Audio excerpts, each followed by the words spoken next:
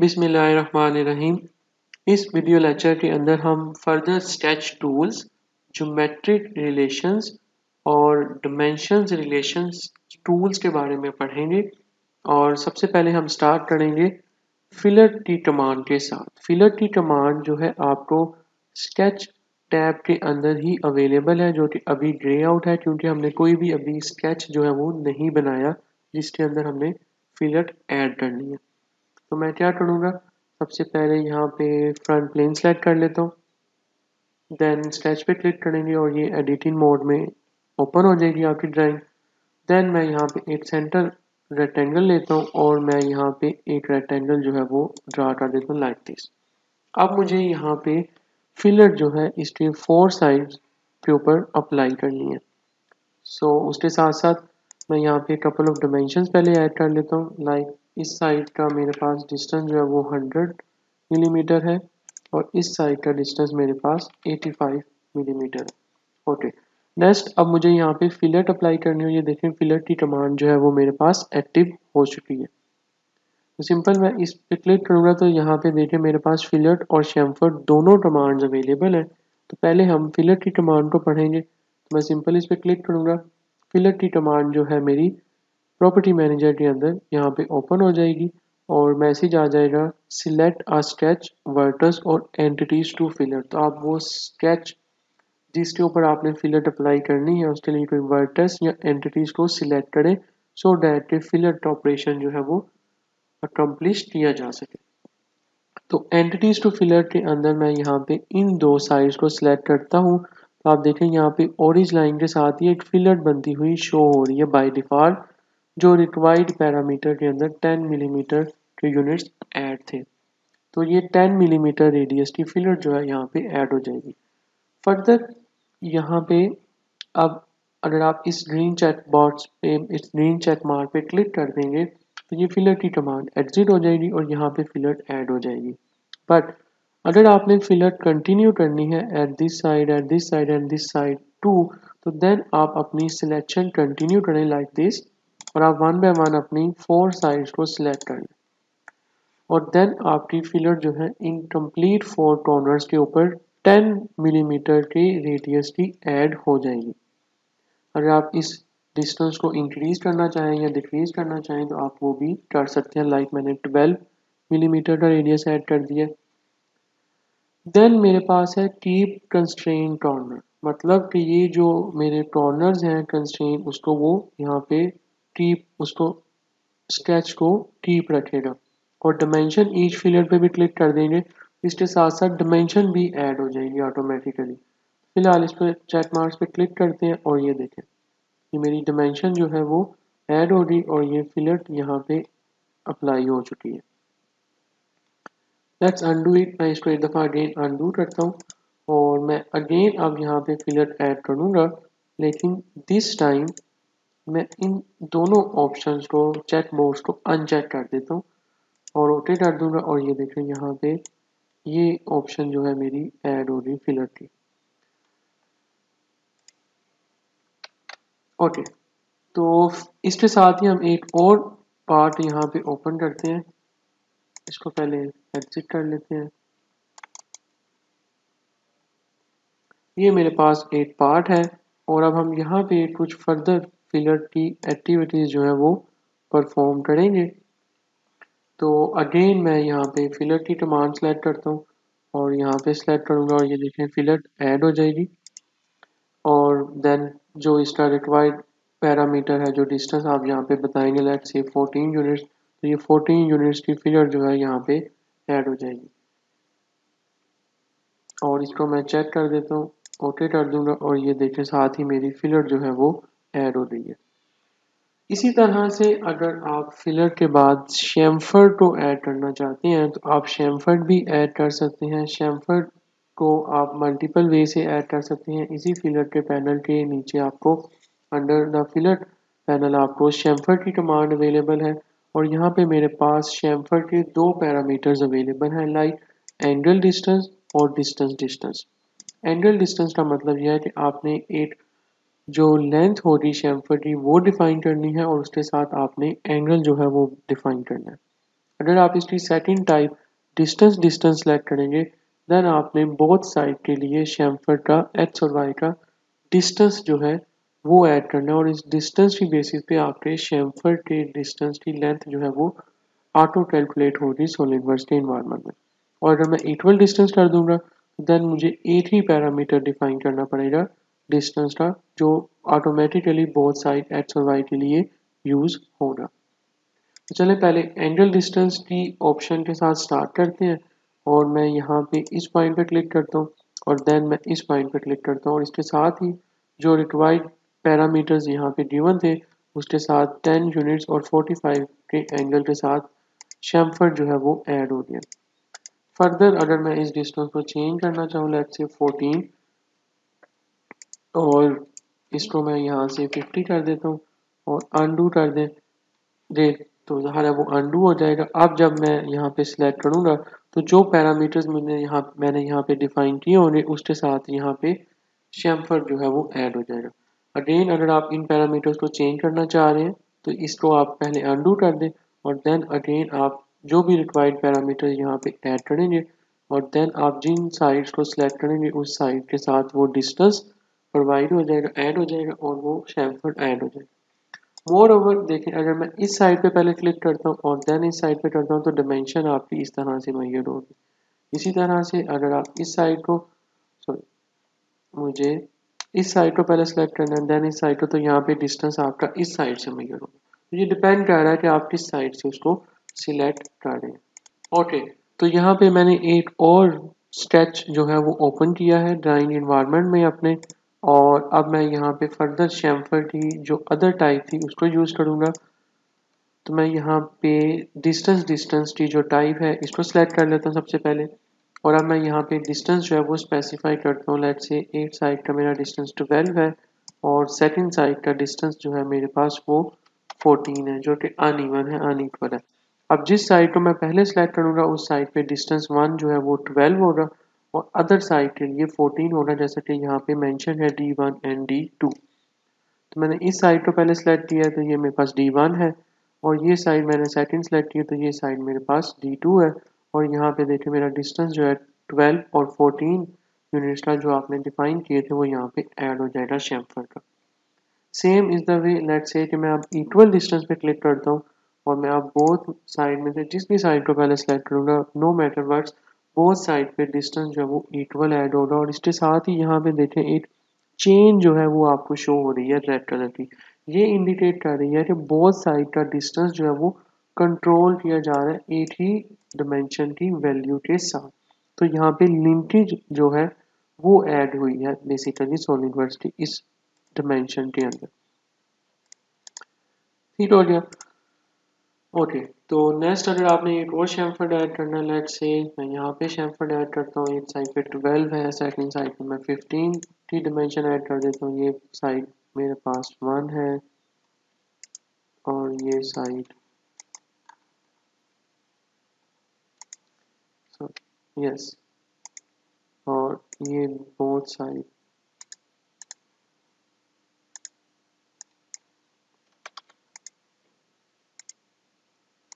और ये मेरे पास टेन और फोर्टीन की अगेन एट शेम्फर जो है वो ऐड हो जाएगा।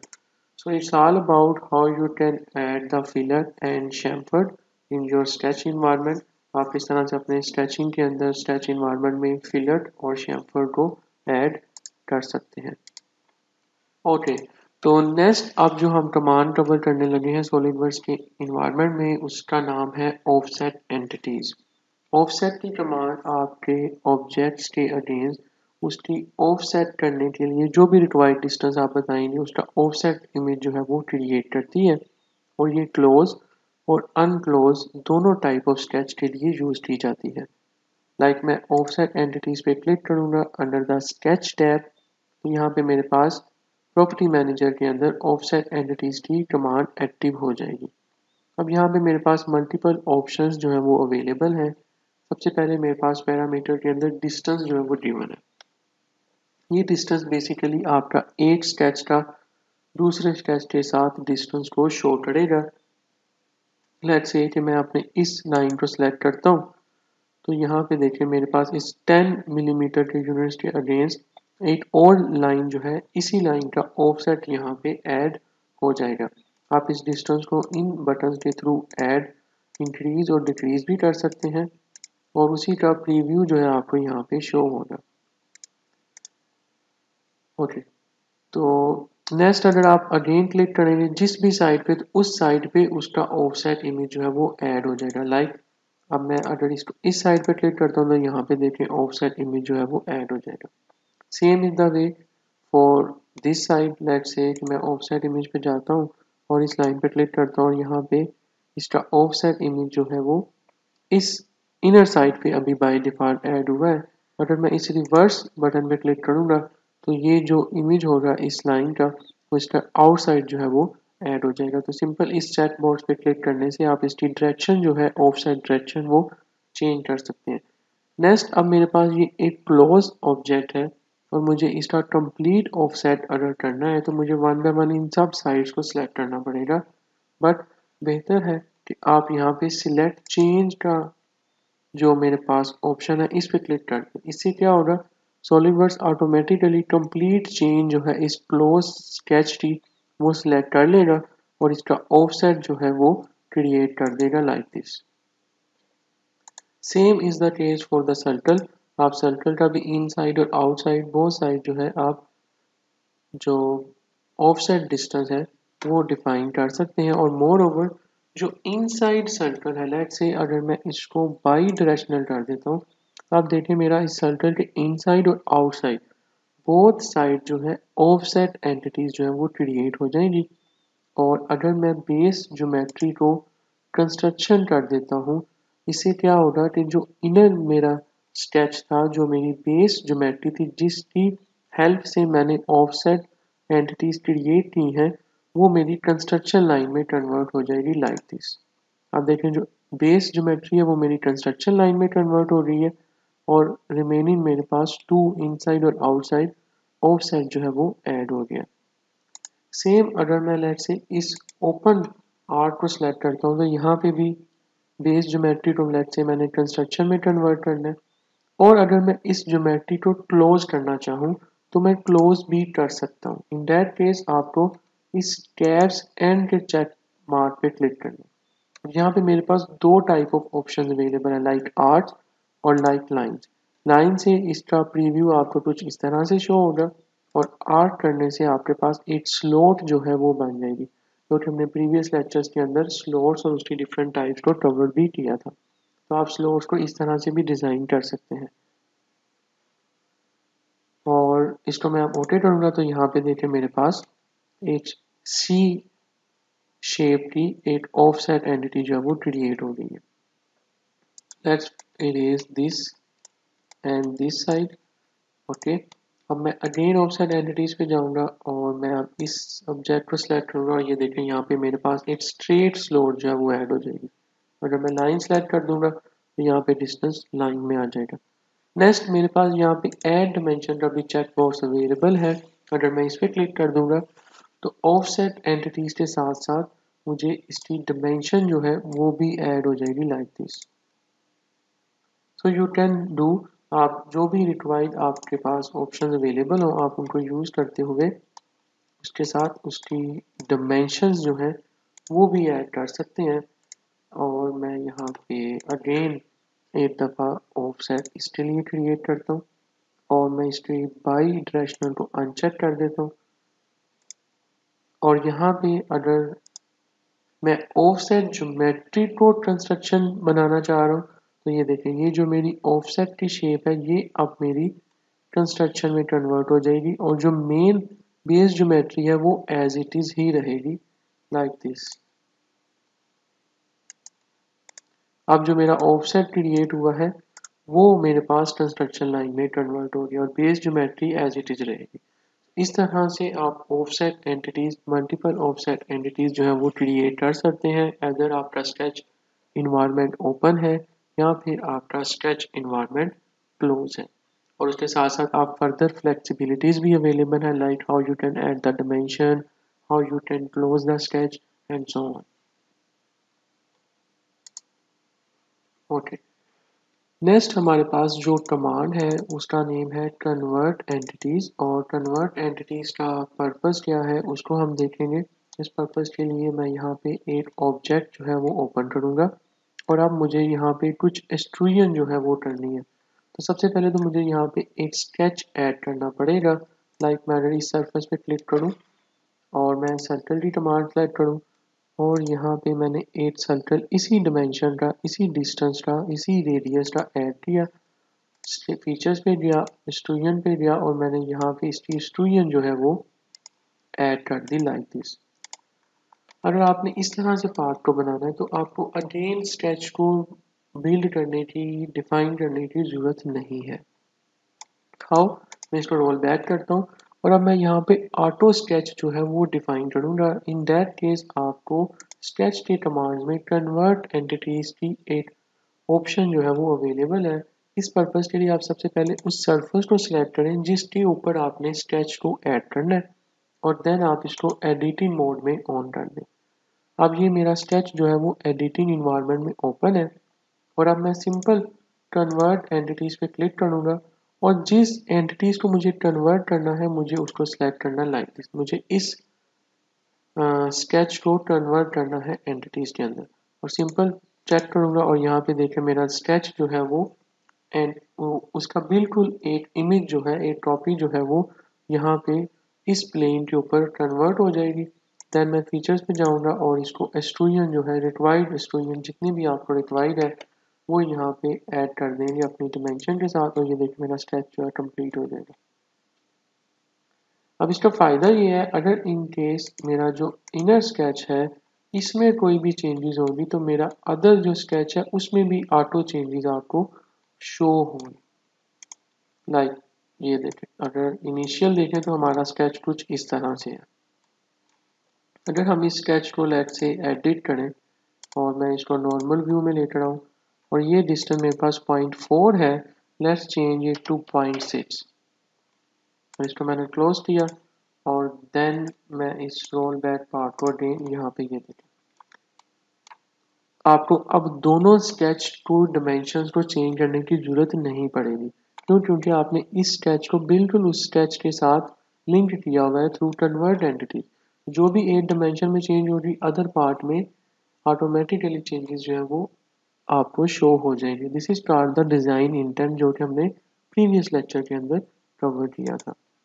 अब इसी तरह से आपको मैं एक और एग्जांपल एक्सप्लेन करूँगा कन्वर्ट एंटिटीज़ की।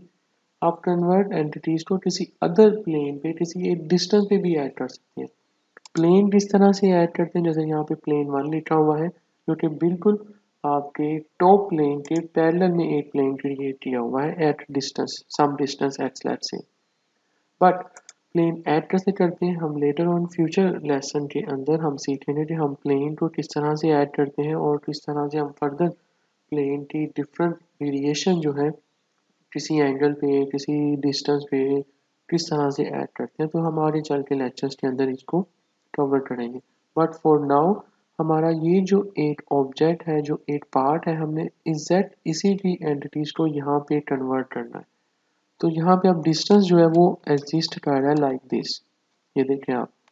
तो आप इस तरह से भी कन्वर्ट एंटिटीज कर सकते हैं। इट डजेंट मीन कि आप उसी ऑब्जेक्ट पे क्रिएट करें लाइक ये देखें। मैं इस स्केच को एडिटिंग मोड में ऑन करता हूँ और कन्वर्ट एंटिटीज पे गया ये देखें कन्वर्ट एंटिटीज के थ्रू ये स्केच ऐड हो गया लाइक दिस जो कि उसी सरफेस पे ऐड हुआ है। लेट्स से कि मुझे उसको इस प्लेन वन के ऊपर भी ऐड करना है, जिसका डिस्टेंस 150 मिलीमीटर mm यूनिट है। तो मैं पहले उस सरफेस को, उस प्लेन को सिलेक्ट करूँगा, जिसके ऊपर मुझे कन्वर्ट एंटिटीज करनी है। एंड देन मुझे उसको एडिटिंग मोड में ऑन करना है। और देन मैं कन्वर्ट एंटिटीज पे क्लिक करूँगा। और देन मुझे अपने उस स्केच को सिलेक्ट करना है। तो आप यहाँ पे इस पुल डाउन एरो पे क्लिक करके अपने उस स्केच को भी सिलेक्ट कर सकते हैं लाइक दिस ठीक हो गया? एंड देन सिंपली आप ओके पे क्लिक करें और ये देखें आपका जो स्केच है वो एज इट इज़ यहाँ पे वो कन्वर्ट हो चुका है using the convert entities tool command so in this way how you can add the convert entities in the SolidWorks environment वो हमने इस लेक्चर के अंदर सीखा है और उसके साथ साथ हमने यहाँ पे फिलर किस तरह से ऐड करते हैं शैम्फर किस तरह से ऐड करते हैं ऑफ़ सेट एंटिटीज को आप किस तरह से ऐड कर सकते हैं, उसको हमने इस लेक्चर के अंदर कवर किया है। Thank you